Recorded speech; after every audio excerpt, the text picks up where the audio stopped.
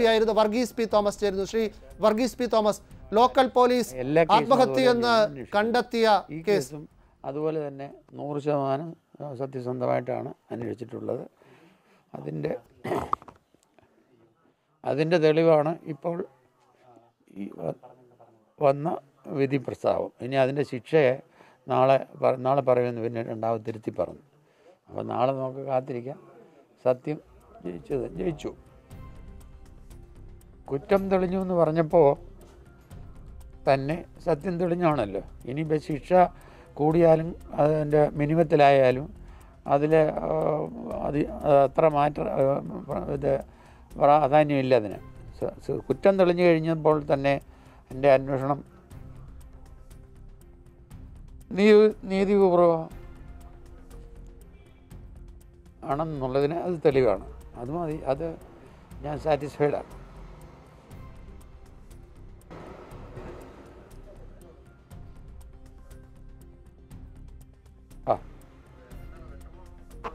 സന്തോഷമാണ്. നൂറ് ശതമാനം.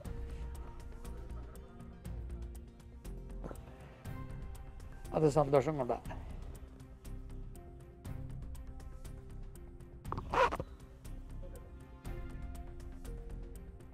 അത് സന്തോഷം കൊണ്ടാണ് അല്ലാതെ ദുഃഖം കൊണ്ടല്ല. സന്തോഷം ആധിക്യം കൊണ്ട് ഉള്ള ഒരു കണ്ണുനീരെന്ന് കരുതിയാൽ മതി.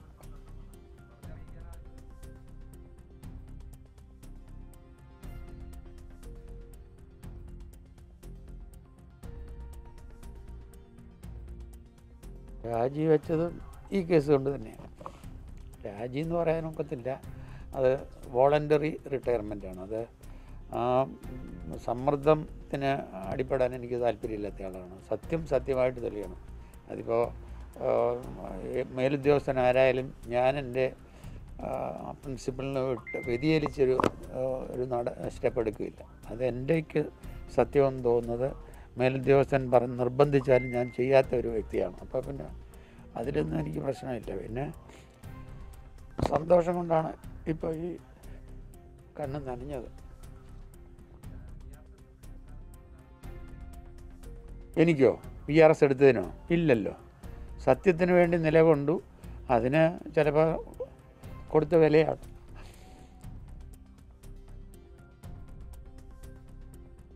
തെളിഞ്ഞു.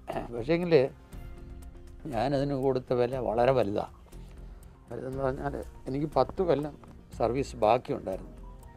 എന്റെ കൂടെ ഉണ്ടായിരുന്ന അതേ ട്രെയിനിങ് കഴിച്ച ഒന്നിച്ച് ട്രെയിനിച്ച് കഴിഞ്ഞ രണ്ടുപേരും അഡ്വേഴ്സ് ഇല്ലാത്തവരും. അവർ രണ്ടുപേരും ഡി എ ജി വരെയായി ഡി എ ജിമാരായി എനിക്ക് യാതൊരു അഡ്വൈസും ഇല്ലാത്ത വളരെ ക്ലിയർ ആയിട്ടുള്ള ട്രാക്ക് റെക്കോർഡാണുള്ളത് അപ്പോൾ എനിക്കും ഞാനും ആ പൊസിഷനിൽ എത്തിയേനെ. അത് അത് ഞാൻ ജോലി വിട്ടു പോകുന്നതിൽ എനിക്ക് വിട്ടുപോകുന്നത് വിട്ടു പോകുന്നത് എന്റെ സ്വന്തം ഇഷ്ടത്തിൽ വന്ന. എന്റെ ആരും ആരും എന്നെ സമ്മർദ്ദം ചെലുത്തിയല്ല. ആ സത്യസന്ധമായിട്ട് പണിയെടുക്കാൻ സാധിക്കില്ല എന്ന് കണ്ടപ്പോൾ ഈ സി പോലീസിലും ഡിഫൻസ് സർവീസസിലും മേലുദ്യോഗസ്ഥൻ പറയുന്നതിന് പറയുന്നത് തെറ്റായാലും ശരിയായാലും അനുസരിച്ചില്ലെങ്കിൽ നിൽക്കാൻ പറ്റില്ല. തെറ്റായത് അനുസരിക്കാൻ ഞാൻ എന്റെ സ്വഭാവ രീതി അനുസരിച്ച് സാധിക്കുകയില്ല. അപ്പോൾ പിന്നെ അവിടെ വിട്ടുപോരാതെ എനിക്ക് ഓപ്ഷൻ ഇല്ലായിരുന്നു.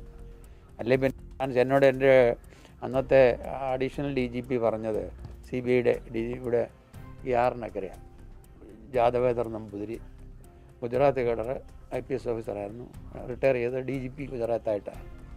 അദ്ദേഹം പറഞ്ഞു പോകണ്ട സർവീസ് വിടരുത്. സി സി ബി ഐയുടെ ഇന്ത്യയിലെ ഏത് ബ്രാഞ്ചിലും വേണം ഇത് ട്രാൻസ്ഫർ തരാം.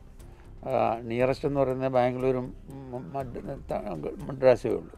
ഞാൻ പറഞ്ഞു വേണ്ട സാർ ഞാൻ തെറ്റ് ചെയ്യാത്ത ആൾ അങ്ങനെ ഈ അന്വേഷണം ഫൈനൽ സ്റ്റേജിലെത്തിയ ആ, സ്റ്റേജിൽ ഞാൻ ഇത് ഇവിടുന്ന് മദ്രാസിലേക്ക് ഒരു ട്രാൻസ്ഫർ ഓപ്റ്റ് ഓപ്റ്റ് ചെയ്ത് പോയാൽ അത് ജനങ്ങൾ ജനങ്ങൾ ഇതെല്ലാം കണ്ടുകൊണ്ടിരിക്കുന്നവരാണ് ജനങ്ങളത് വേറെ രീതിയിൽ അത് എടുക്കുകയുള്ളൂ ഇന്റർപ്രറ്റ് ചെയ്യുകയുള്ളൂ. കാരണം എനിക്ക് എന്റെ അന്വേഷണത്തിൽ എന്തോ പാളിച്ചയോ അല്ലെങ്കിൽ തിരിമറിയോ ഉണ്ടായതുകൊണ്ട് എന്നെ ട്രാൻസ്ഫർ ചെയ്തെന്നേ അവർ ഈ ജനങ്ങൾ ധരിക്കുകയുള്ളൂ.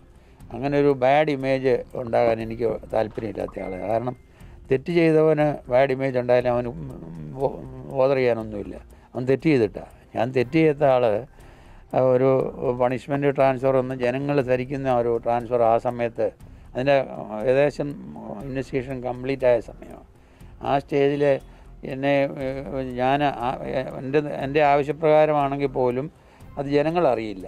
ഞാൻ എന്നെ മദ്രാസിലോട്ടോ ബാംഗ്ലൂരിലേക്കോ ട്രാൻസ്ഫർ ഞാൻ ചോദിച്ച് എന്നെ ട്രാൻസ്ഫർ ചെയ്താണെങ്കിൽ പോലും അതെനിക്ക് എന്റെ ഇമേജിനെ വളരെ അഡ്വേഴ്സായിട്ട് ഒരു ബ്ലാക്ക് മാർക്കായിരിക്കും.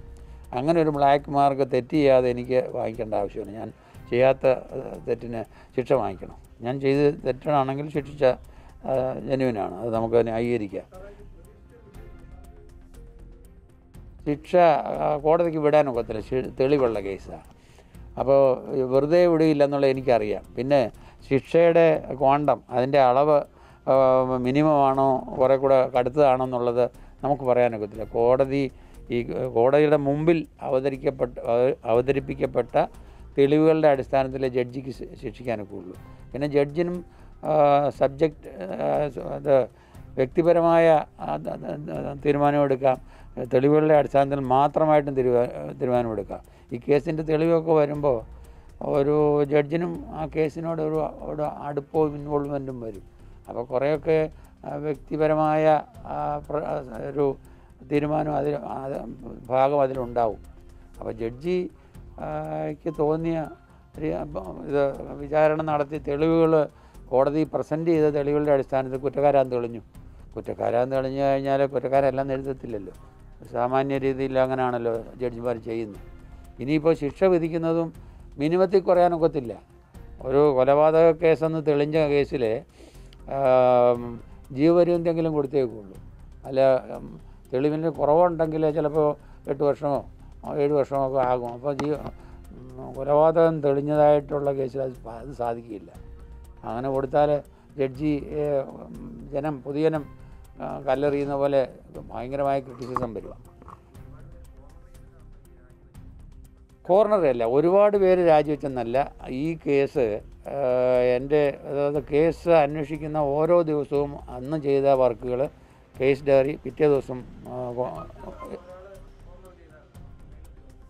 മേലുദ്യോഗസ്ഥൻ ആ, എന്നെ അതിൽ സ്വാധീനിക്കാൻ ശ്രമിച്ചു. ഞാൻ അതിന് വഴങ്ങിയില്ല. എന്തോ? ആ. നീതി എന്നും തെളിയും എപ്പോഴും. എന്നേ എനിക്ക് പറയാനുള്ളൂ അദ്ദേഹം Orissa cadre I P S ഓഫീസറായിരുന്നു. C B I ഡെപ്യൂട്ടേഷനിൽ വന്നയാളാണ് അദ്ദേഹം തിരിച്ച് ഒറീസയിലേക്ക് പോയി. അവിടുന്ന് ഡി ജി പി ആയിട്ട് റിട്ടയർ ചെയ്തൊരു മനുഷ്യനാണ് അപ്പോൾ അങ്ങേരോട് നമ്മൾ അഡ്വൈസ് ചെയ്യേണ്ട കാര്യങ്ങളൊന്നുമില്ല. ഈ വിധി കാണുമ്പോൾ ആർക്കറിയാം. അങ്ങനെ അത് ആ കോടതി എടുക്കുന്ന തീരുമാനത്തെ ഹൈക്കോടതിയിൽ ചലഞ്ച് ചെയ്യാം. പക്ഷെ ചലഞ്ച് ചെയ്താൽ മെറിറ്റുള്ള കേസ് അനുകൂലമായ വിധി വരുള്ളൂ അപ്പോൾ ചലഞ്ച് ചെയ്ത് ആരെങ്കിലും ഒരു ഇത് ഇത് കൊടുത്ത് അപ്പീൽ കൊടുത്ത് ഹൈക്കോടതി പോയാലും ഈ എവിഡൻസ് റെക്കോർഡ് ചെയ്ത ജഡ്ജിയുടെ തീരുമാനങ്ങളെ മറികടന്ന് ചെയ്യാൻ സാധിക്കില്ല. ആ മതിയല്ലോ. അതോ വേറെ ചോദിച്ചോളൂ. വർഗീസ് പി തോമസ് സംസാരിക്കുകയായിരുന്നു. അദ്ദേഹം